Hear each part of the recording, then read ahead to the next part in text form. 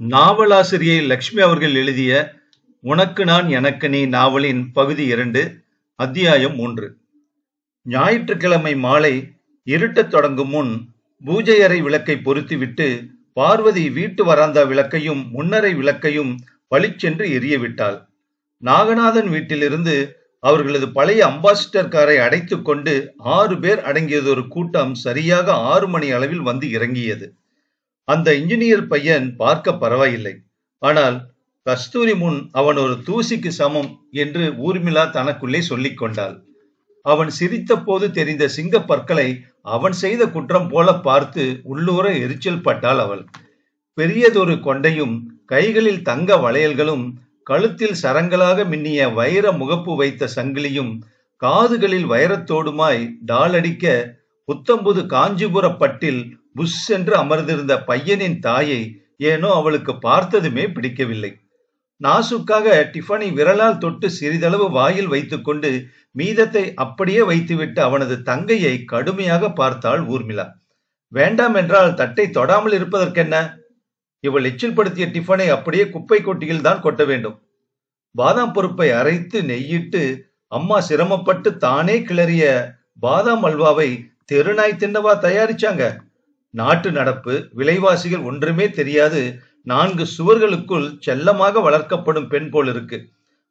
புத்திசாலித்தனமாக இரண்டு வார்த்தை அவளுக்கு பேசத் தெரியுமா? அந்த பெண்ணை பற்றி கடுமையாக தனக்குள் கணிப்பு செய்தாள் அவள்.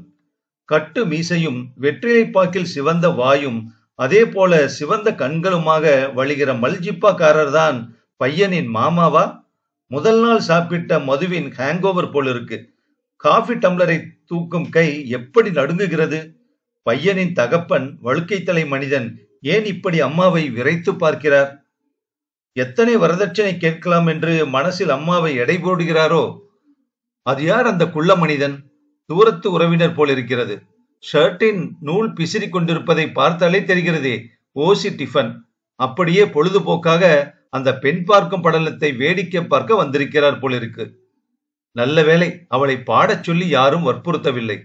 சிறிது நேரம் நின்று கொண்டிருந்து விட்டு அவள் தன் அறைக்குள் சென்று மறைந்து கொண்டாள். முன்னறையில் ஏக காலத்தில் குரல்கள் எழும்பின. அவர்கள் கிளம்பி விட்டார்கள் என்று புரிந்து கொண்டாள். கொஞ்ச நேரத்தில் கார் புறப்படும் சப்தம் கேட்டது. மெல்ல வெளியே வந்தாள். அம்மா மகிழ்ச்சியாக பேசினாள். பையனையும் குடும்பத்தையும் எனக்கு பிடிச்சு போச்சுமா? மேற்கொண்டு மத்த விஷயங்கள எழுதுறேன்னு பையனோட அப்பா சொல்லிட்டு போயிருக்கார். இதுவரை தூங்கி வழிந்து கொண்டு ஒரு புறம் உட்கார்ந்திருந்த தாத்தா தொண்டையை கனைத்தார். நம்ம பொண்ண பையனுக்கு பிடிச்சிருக்குன்னு அவன் முகமே சொல்லிடுச்சு. ஊர்மிளா போல அழகான பொண்ணை கட்டிக்க அவன் கொடுத்து வச்சிருக்கணுமே. எனக்கு இந்த சம்பந்தம் பிடிக்கலம்மா. என் அபிப்பிராயம் எதுவும் தேவையில்லையா உனக்கு? என்று அவர்களிடம் ஓங்கி கத்த வேண்டும் போல அவளுக்கு ஆத்திரமாக இருந்தது. தாடை இருக கோபத்தை அடக்கிக் கொண்டாள். அவள் ஏன் அவசரப்பட வேண்டும்? வரதட்சணை சீர் என்று பல விவகாரங்கள் இருக்கின்றனவே. எதிலாவது சிக்கல் ஏற்பட்டால் ஜாதகத்தின் மேல் கடைசியாக சாக்கை போட்டு நழுவிக் கொண்டு விடுவார்கள். தண்ணீர் பருக டம்ளரை கொண்டு போவதற்கும் ஒரு மொடங்கு தண்ணீரை விழுங்குவதற்கும் இடையே எத்தனையோ தடுமாற்றம் ஏற்படலாமே. அடுத்த நாள் காலை அவள் கஸ்தூரியின் அலுவலகத்திற்கு டெலிபோன் செய்தாள். பம்பாய் வரை டைரக்டருடன் அவன் அலுவலக காரியமாக போயிருப்பதாகவும் வர ஒரு வாரம் பிடிக்கும் என்றும் பதில் கிடைத்தது. ஏழு நாட்கள். கஸ்தூரியுடன் பேசாது. அவனை ஒரு தடவை கூட பார்க்காமல் இருக்க வேண்டுமென்றால் அவளுக்கு மிகவும் கஷ்டமாக இருந்தது. இந்த நிலையில் வேறு ஒருவனுக்கு அவள் வாழ்க்கைப்பட வேண்டிய வந்துவிட்டால் ஐயோ வாழ்க்கை முழுவதும் அவனை பாராது. அவள் மனதிலிருந்து ஒதுக்கி மறந்துவிட முடிய வேண்டுமா? அவளால் கஸ்தூரியை மறக்கவே முடியாதே. எப்படியாவது துணிவை வரவழைத்துக் கொண்டு அம்மாவிடம் பேசிவிட்டால் என்ன? முதலில் தாத்தாவிடம் சொல்லி பார்த்தால்? அவரிடம் பேசுவதற்கு தெருவுக்கே விஷயம் தெரிந்து விடுமே. அப்படி இறைந்து கத்த வேண்டும். ஒரு கடிதத்தில் எழுதி அவரிடம் கொடுத்தால் தாத்தா அந்த வீட்டில் ஆண் துணை என்று பெயரளவில் தான் இருப்பவர். சுவருக்கு சாயம் பூசுவதில் கூட அம்மா அவரது ஆலோசனையை கேட்டவள் இல்லை. துணிவுடன் அம்மாவிடம்தான் பேச வேண்டும். கஸ்தூரியை பார்க்கவில்லையே குரலை கூட கேட்க முடியவில்லையே என்ற ஏக்கத்தில் அவளுக்கு நேரம் கனத்தது. அன்று பகல் தொடர்ந்து அவளுக்கு வேலை செய்ய முடியவில்லை. தலைவலி என்று விடுப்பு எடுத்துக்கொண்டு பகல் உணவு நேரத்தின் போதே அவள் வீட்டுக்கு புறப்பட்டு விட்டாள். மண்டை வெடிக்கும் வெயில் வேலை சாப்பாட்டுக்கு பின் தாத்தா நிம்மதியாக தன் அறையில் உறங்கப் போயிருப்பார் என்பது அவளுக்கு தெரியும். அம்மாவும் ஒரு குட்டி தூக்கம் போடுவது வழக்கம். கேட்டை மெல்ல திறந்து கொண்டு அவள் உள்ளே நுழைந்தபோது வீடும் உறங்குவது போல எங்கும் அமைதியாக இருந்தது. கேட்டை தாழ் போட்டுக்கொண்டு முன்தோட்டத்தை ஒரே எட்டில் கடந்து வராந்தாவுக்கு வந்தாள். தாத்தாவின் சாய்வு நாற்காலி போட்ட இடத்தில் அப்படியே கிடந்தது. காலையில் அவர் படிக்க பிரித்து போட்ட பத்திரிகைகள் நாற்காலி அருகில் குவியலாக கிடந்தன. அத்தனையும் படிக்க வேண்டும் என்று தாத்தாவுக்கு பேராசை. ஒன்னை கூட முழுக்க படித்திருக்க மாட்டார். அப்படியே தூங்கி போயிருப்பார். தாத்தா வர வர ஒரு பச்சை குழந்தையாக அடம்பிடிக்கிறார். தனக்குள் சொல்லி கதவருகில் வந்தவள் கண்களில் அந்த கடிதம் பட்டது. பகல் வேலை வந்த தபால்காரர் வீசிவிட்டு போயிருக்கிறார். அம்மா கவனிக்கவில்லை என்று எண்ணியபடி குனிந்து கடிதத்தை எடுத்தாள். அப்பாவின் முகவரிக்கு பெண் பார்க்க வந்த நாகநாதன் எழுதியிருந்த கடிதம் அது. கையில் எடுத்தபோதே நெஞ்சு படபடத்தது. அவளது கல்யாணத்தை பற்றிய செய்திதான் அது. நாகநாதன் என்ன எழுதியிருக்கிறார்? பெண் பிடித்திருக்கிறது என்கிறாரா? வரதட்சணை பல ஆயிரம் வேண்டும் என்கிறாரா? பிடிக்கவில்லை. ஜாதகத்தில் தோஷம் என்று கழித்து கட்டிவிட்டாரா? அம்மா படித்து தெரிந்து கொள்வதற்குள் அவள் மெல்ல கடிதத்தை படித்து பார்த்தால் என்ன? கைப்பைக்குள் கடிதத்தை போட்டுக்கொண்டு மெல்ல கதவு மணியை அழுத்தினாள். திடுக்கிட்டு எழுந்த பார்வதி விரைந்து வந்து கதவை திறந்தாள். நீயா இப்ப உன்னை நான் எதிர்பார்க்கவே இல்லையே. லேசா தலை வலிச்சதுமா வீட்டுக்கு வந்து கொஞ்சம் தூங்கலாம்னு நினைச்சிட்டு வந்துட்டேன் சாப்பிட போறியா? அம்மா கேட்டபோது தலையை ஆட்டி மறுப்பு தெரிவித்தாள். உங்களை தூக்கத்திலிருந்து எழுப்பிட்டேம்மா. சாரிம்மா நீங்க போய் தூங்குங்க. நான் கேஸ் அடுப்பை மூட்டி கொஞ்சம் வெந்நீர் சுட வச்சுட்டு ஒரு தலைவலி மாத்திரையோட சாப்பிட்டுட்டு அப்புறமா படுத்துக்கிறேன். காசு அடுப்ப பத்திரமா மூடு. மறந்து போகாத. எச்சரித்து விட்டு பார்வதி தன் அறைக்கு சென்று கதவை சாத்தி கொண்டு விட்டாள். பாத்திரத்தில் வெந்நீர் பொங்கி ஆவி வரும் வரை காத்து கொண்டு நின்ற ஊர்மிளா சுற்றுமுற்றும் பார்த்தாள். அம்மா மறுபடியும் தூக்கத்தை தொடர்ந்து விட்டாள். தோல்பையில் இருந்த கடித உரையை எடுத்து நீராவி மீது சில நிமிஷங்கள் லேசாக பிடித்தால் கடிதத்தை சிதைக்காது மெல்ல திறந்து பார்க்கும் வழி அது என்பது அவளுக்கு தெரியும். நீரை இறக்கி வைத்துவிட்டு அடுப்பை அணைத்து கதவை மெல்ல சாத்தி கொண்டு குளியல் அறைக்குள் நுழைந்து அந்த கதவை உள்ளே தாளிட்டு கொண்டாள். கடித உரையின் ஒட்டிய வாய்ப்பக்கம் மிகவும் சுலபமாக திறந்து கொண்டது. ஆவலுடன் கடிதத்தை எடுத்தாள். பாவி மனிதன் பெண் பிடிச்சிருக்கு. நிச்சயத்தை எப்போ வச்சுக்கலாம்னு எழுதி தொலைக்காம இருந்தா சரி என்று உள்ளூர திகிலுடன் கடிதத்தை பிரித்து படிக்கலானாள். பார்வதி அம்மாவுக்கு பூலோக படத்தில்தான் உலகம் பெரியதாக தெரிகிறது. ஆனால் உண்மையில் அது மிகவும் சிறியது. அதனால்தான் பட்டணத்திலே வந்து மங்களா காலனியில் நீ ஒண்டிக் கொண்டு விட்டாலும் உன்னை யார் என்று அடையாளம் காண முடிந்தது. சொந்த வீடு வாங்கிக் கொண்டு உயர்மட்டத்து மக்கள் மத்தியில் நீ ஒதுங்கி குனித தலை நிமராது கோயிலுக்கு போய் வந்துவிட்டால் நீ பத்தினியாகி விடுவாயா? சின்னப்பட்டி மிராசு சிங்காரத்தின் வைப்பு நீ என்பதை கிராமமே அறியும். அப்பன் பேரு தெரியாது நீ பெத்து வச்சிருக்கும் பெண்ணை என் மகனுக்கு கட்டி வைக்க பார்த்தாயே. நீ ரொம்ப துணிச்சல்காரிதான். விவரம் புரியாது உன் வீட்டுக்குள் காலடி எடுத்து வச்சேனே. என் புத்தியை ஏமாந்தவன் எவனாவது கிடைத்தால் உன் பெண்ணை அவன் தலையில் கட்டிவிடு. இன்னும் ஒரு சங்கதி சொல்ல விரும்புகிறேன். உன் பழைய காதலன் அதாவது அந்த சின்னப்பட்டி சிங்காரம் இப்போ உன்னை போல சென்னையில் தான் வசிக்கிறான். முகவரி கொடுத்திருக்கிறேன் இதோடு. போய் அவன் காலில் விழு. உன் பெண்ணுக்கு ஏதாவது வழி செய்யக்கூடும். ஒரு சமயம் மறுக்கவும் செய்யலாம். ஏனென்றால் நீ கிராமத்தை விட்டு வந்த பிறகு எப்படி எப்படியோ வாழ்ந்தாய் என்று உன்னை பற்றிய கதைகள் பல கேட்டு மனிதன் மனம் மாறி போயிருக்கலாம். என்னை போன்ற கௌரவமான குடும்பத்திற்குள் நுழைய மறுபடி முயன்றால் மூக்குடைபடுவாய் எச்சரிக்கிறேன் நாகநாதன். அவமானத்தில் உடல் குறுகி ஸ்தம்பித்து போனால் ஊர்மிளா. அத்தியாயம் நான்கு. பார்வதி மிகவும் சாமர்த்தியமாகத்தான் நடந்து கொண்டாள். அந்த கடிதம் வந்ததாகவே காட்டிக்கொள்ளவில்லை ஆனால் மகள் தாயின் நடத்தையில் சில திடீர் மாறுதல்களை கவனிக்க தவறவில்லை. அன்று இரவு சாப்பாட்டு மேஜை மீது தண்ணீர் டம்ளரை வைத்தபோது பார்வதியின் கரம் நடுங்கியதை மகள் வியப்புடன் பார்த்தாள். பூஜைக்கு பறித்து வந்த தோட்டத்து மலர் நிறைந்த பூக்குடையை முன்னரையில் தவறவிட்டு அவசரமாக கம்பளத்தின் மீது சிதறி கிடந்த மலர்களை அம்மா அள்ளுவதை கவனித்து விட்டாள். காலை காஃபி பலகாரத்தின் போது இட்லி மீது சூடான சாம்பாரை ஊற்றத் தவறி தாத்தாவின் கை மீது ஊற்றிவிட அவர் அலறியதும் அந்த கடிதம் தந்த அதிர்ச்சிதான். சாதாரணமாக பார்வதி அம்மாள் மிகவும் கச்சிதமாக காரியங்களை செய்வாள். அவள் பேச்சிலும் செயலிலும் தடுமாற்றம் ஏற்பட்டது என்றால் அவள் அந்த கடிதத்தை படித்து பயந்து விட்டிருக்கிறாள். பல ஆண்டுகள் பத்தினியாய் வேஷம் போட்டு நடித்துக் கொண்டிருந்த சமயம் இப்படி விஷயம் வெடித்து விட்டதே என்ற அச்சத்தில் உணர்வுகள் பொடி பொடியாகி அவள் துவண்டு போய் விட்டிருந்தாள். அந்த கடிதத்தில் எழுதப்பட்டிருந்த அத்தனையும் உண்மை என்பதில் சந்தேகமில்லை. அதன்படி பார்த்தால் திருமணமாகாத பார்வதிக்கு பிறந்த குழந்தை அவள். அந்த நினைவில் ஏற்பட்ட அவமானத்தில் உடல் குறுகிவிட்ட உணர்வில் அவள் வேலைக்கு புறப்பட்டிருந்தாள். வழக்கம் போல வேலை முடிந்ததும் மாலை வேளை பஸ் நிலையத்தருகே காருடன் கஸ்தூரி அவளுக்காக காத்திருப்பான். அவனிடம் அவள் எப்படி முகம் கொடுத்து பேச முடியும்? என் தாயார் சின்னப்பட்டி சிங்காரம் என்பவரின் வைப்பாக வாழ்ந்த காலத்தில் நான் பிறந்தேன். தந்தை என்று அவரை உறவு கொண்டாட எனக்கு தகுதி கிடையாது என்ற உண்மையை சொன்னால் கட்டாயம் அவளை அவன் கல்யாணம் செய்து கொள்ள விரும்ப மாட்டானே. உண்மையை சொல்லாது மூடி வைத்து அவனை திருமணம் செய்து கொண்டால் பின்னர் ஒரு நாள் விஷயம் வெளிவந்து விட்டால் கஸ்தூரி அவளை விஷமமாக வெறுக்கக்கூடும். வாழ்க்கையிலிருந்து ஒதுக்கிவிட முயன்றாலும் ஆச்சரியப்படுவதற்கில்லை. அவர்கள் ஏழை ஆனால் நேர்மையாக வாழ விரும்புகிறவர்கள் என்றானே. பலவும் எண்ணி குழம்பிக் கொண்டிருந்த போது பகல் உணவு நேரத்தில் கஸ்தூரி அவளை தொலைபேசியில் கூப்பிட்டான். அவன் குரலில் உற்சாகம் இருக்கவில்லை. பத்து நாள் காய்ச்சல் அடித்தவன் குரல் போல ஏன் இப்படி சன்னமாக கேட்கிறது? ஒரு சமயம் அவனுக்கு அவளை பற்றிய சங்கதி தெரிந்து விட்டதோ எப்படி தெரிந்திருக்க முடியும்?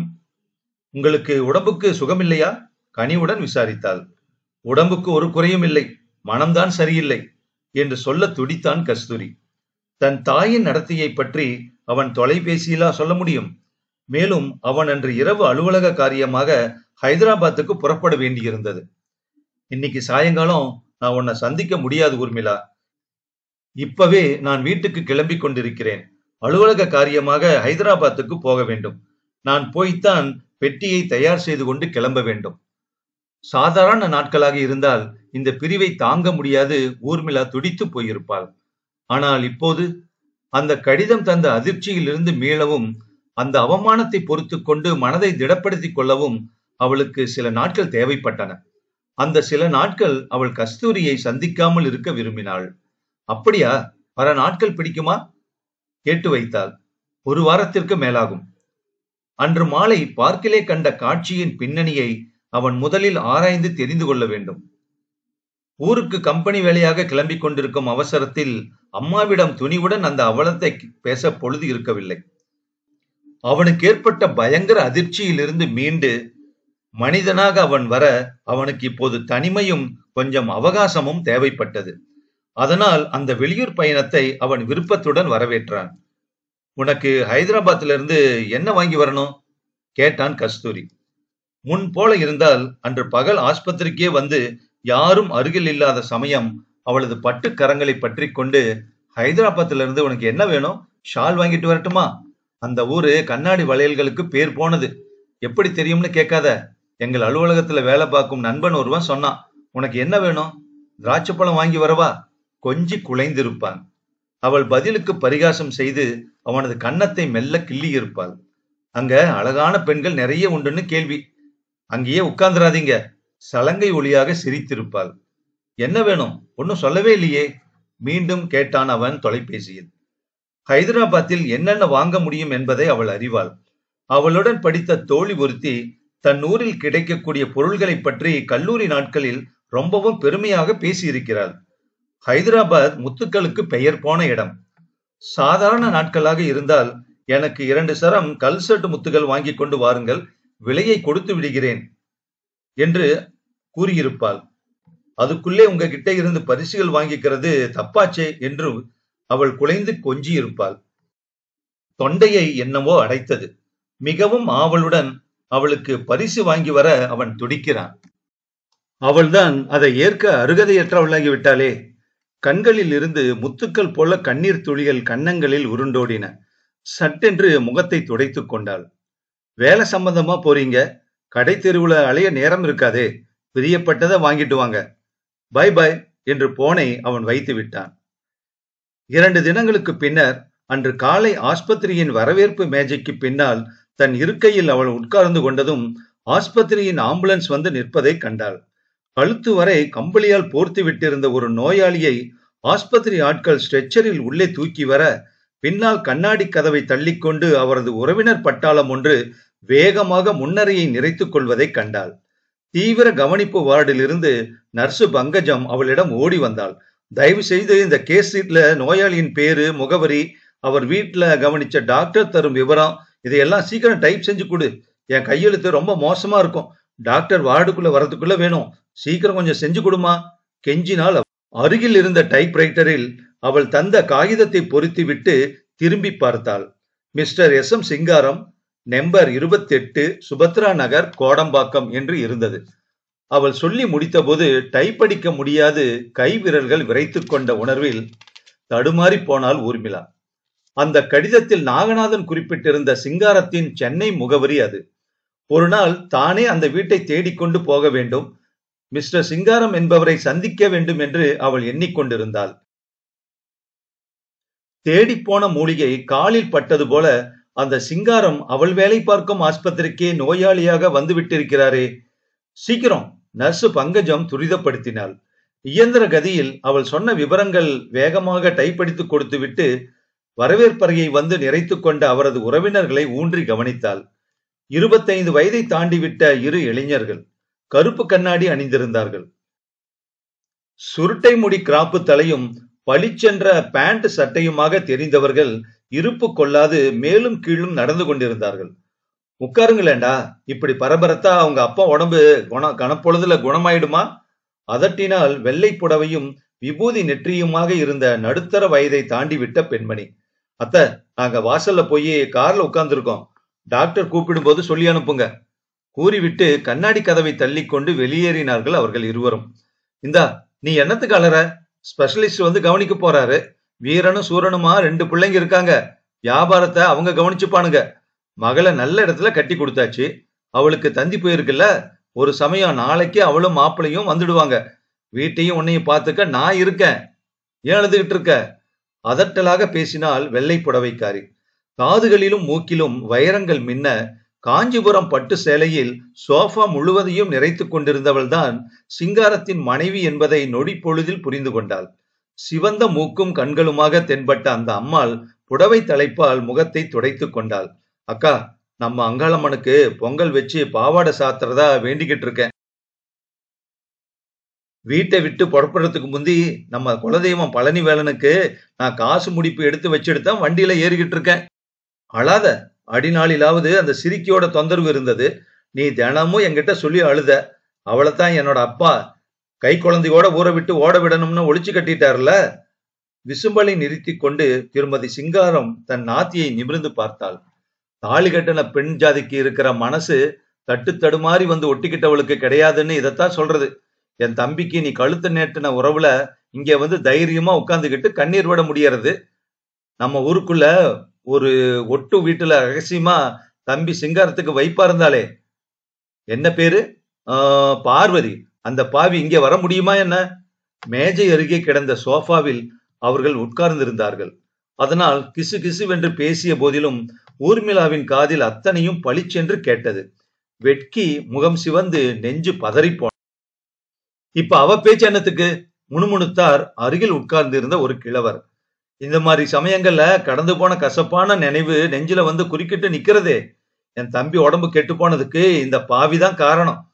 சின்ன வயசுல வேலைக்கு சாப்பிட்டு வீட்டுல தூங்கி இருந்தா இந்த வயசுல இந்த கோளாறெல்லாம் ஏற்பட்டிருக்காதே. என்ன பாரு அவனை விட அஞ்சு வயசு மூத்தவ. இன்னும் நல்லா இருக்கேன். அத்தோட மட்டுமா? அவளுக்கு எத்தனை பணத்தை வாரி கொடுத்தான்? அந்த பணம் இருந்தா இப்போ நம்ம பிசினஸ் இப்படி ஆடி போயிருக்காதே. குழந்தைகள் ரெண்டு பேரும் கடன் உடன் வாங்கி சமாளிச்சுக்கிட்டு இருக்காங்க பாவம். ஆஸ்பத்திரியில வந்து வீட்டு கதை எதுக்கு? கிழவர் அதட்டினார். மறக்க முடியாத கதை. நமக்குள்ளாரதானே பேசிக்கிறோம். மாமா ஒரு சங்கதி உங்களுக்கு தெரியுமா? அந்த பீட பார்வதி கூட இங்கதான் எங்கேயோ இருக்காளாம். நம்ம சிங்காரத்துக்கிட்ட இருந்து பிரிஞ்சப்புறம் பல கை மாறிட்டாளாம். உடம்பெல்லாம் திகு திகுவென்று எரியவே சட்டென்று எழுந்து கழிவறைக்குள் சென்று கதவை தாளிட்டு கொண்டாள் ஊர்மிளா. ஆண்டுகள் எத்தனை ஆனால் என்ன? அம்மாவின் அவமானகரமான வாழ்க்கை அவள் முன்னால் ஆஸ்பத்திரி முன்னறையில் அலசப்படுகிறது. பெற்றவர்களின் தவறுகள் குழந்தைகளை பாதிக்கும் என்று சொல்வார்களே எத்தனை பெரிய உண்மை? அம்மா செத்த பிறகு இப்போது அவளது வாழ்வில் மண்ணை அள்ளி போடப் போகிறது. கஸ்தூரியை அவள் மறந்துவிட்டு மேலே யோசிக்க முடியாது சப்தமிடாது அழுதாள். வரவேற்பறை தொலைபேசி கிணுகிணுத்ததை கேட்டு திடுக்கிட்டு முகத்தை கழுவி முடியை கையால் சீராக்கி கொண்டு ஓடி வந்தாள். எத்தனை நேரம் கூப்பிடுறது? எங்க போன? மிஸ்டர் சிங்காரத்தை என்னோட அறைக்கு வர சொல்லு. அவங்க கிட்ட பேசணும். மருத்துவமனையின் தலைமை டாக்டர் கோபமாக அதட்டினார். வேறு வழியின்றி போலியானது ஒரு புன்னகையுடன் அவளை அணுகி அம்மா உங்களை டாக்டர் கூப்பிடுறார். இந்த பக்கமா போனா முதலாவதா தெரியறார கூறிவிட்டு மேஜை மேலிருந்தது ஒரு ஃபைலை திறந்து புரட்டத் தொடங்கினார். நெஞ்சு ஏனோ பக் பக் என்று அடித்துக் கொண்டது. அன்று அவள் வீடு திரும்பிய போது அம்மா கோவிலில் இருந்த பிரசாத கட்டுடன் திரும்பி வந்து கொண்டிருந்தாள். தோளில் மாட்டியிருந்த பையை தொப்பென்று மேஜை மீது போட்டுவிட்டு உட்கார்ந்த மகளை வியப்புடன் தாய் பார்த்தாள். என்ன அப்படி முழிக்கிற? சீக்கிரம் போய் குளிச்சுட்டு வேற சுத்தமா உடுத்திக்கிட்டு வா. ஆஸ்பத்திரி தீட்டு. ஊர்மிளாவுக்கு ஆத்திரம் மண்டிக் கொண்டு வந்தது. எனக்கு உங்க நடத்தியால் ஏற்பட்ட தீட்டு. எத்தனை தடவை குளிச்சாலும் போகாதேம்மா. உங்களுக்கு தெரியுமா? உங்க பழைய காதல மிஸ்டர் சிங்காரம் மாரடைப்பு வந்து நினைவில்லாம ஆஸ்பத்திரியில கிடக்கார். இந்த பிரசாதம் இப்போ அவருக்கு தான் முக்கியமா தேவைப்படும். என்று இறைந்து கத்த வேண்டும் போல ஆவேசம் அடிவயிற்றிலிருந்து புரள அவள் விருக்கென்று குளியல் அறைக்குள் புகுந்து கதவை தாளிட்டு கொண்டாள். ஷவரில் இருந்து பூவாக உதிர்ந்த நீரைப் போல அவளது கண்களில் இருந்த கண்ணீர் துளிகள் சிதறின. அவள் தன் தாயை பற்றி எத்தனை பெருமையாக எண்ணிக்கொண்டிருந்தாள்? இள வயதிலே தன் ஒரே மகளை வாழ வைக்க மிக வைராக்கியத்துடன் வாழ்ந்து கொண்டிருப்பவள் என்ற அந்த அழகான எண்ணம் இப்பொழுது எப்படி சிதைந்து சீரழிந்து போய்விட்டது? அவள் தாய் ஒரு கேவலம் பணக்காரனின் வைப். விளக்கமாக சொல்ல போனால் ஒரு விபச்சாரி. அவள் அந்த விபச்சாரியின் மகள். ஐயோ இந்த உண்மையை அவள் கஸ்தூரியிடம் எப்படி சொல்ல முடியும்? விக்கி விக்கி வெகுநேரம் அழுதாள். குளிக்கல அறையில என்ன ஜலக்கிரீடம் பண்ணிக்கிட்டு இருக்க? தாத்தாவுக்கு பசி தாங்காதுன்னு தெரியுமில்ல? அம்மா அதட்டி அழைத்தாள். வெளியே வந்த மகளின் முகத்தை பார்த்த தாய் திடுக்கிட்டு போனாள். என்ன ஊர்மிளாது கண் செவந்திருக்கு அழுதியா? என்ன நடந்தது? பதறினாள் அவள். நான் ஏன் பிறந்தேன்னு நினைச்சுக்கிட்டு அழுதேன். சும்மா தொண தொணக்காதீங்க. சினிங்கி விட்டு சாப்பாட்டறை மேஜை அருகே உட்கார்ந்து கொண்டாள்.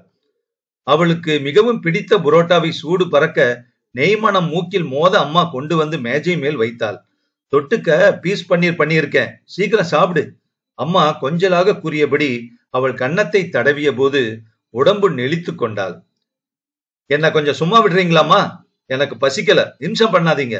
என்று வெடுக்கென்று கூறிவிட்டு கண்ணாடி டம்ளரில் ஊற்றி வைத்திருந்த தாளித்த மோரை மட்டும் ஒரே வாயாக குடித்துவிட்டு எழுந்து தன் அறைக்குள் புகுந்து படுத்துக்கொண்டு விட்டாள். எப்பொழுதும் பதவிசாக மிக அடக்கமாக நடந்து கொள்ளும் சுபாவம் உள்ள ஊர்மிளாவுக்கு இப்போது என்ன வந்து விட்டது? அம்மாவுக்கு மிகவும் ஆச்சரியமாக இருந்தது வருத்தமாகவும் இருந்தது.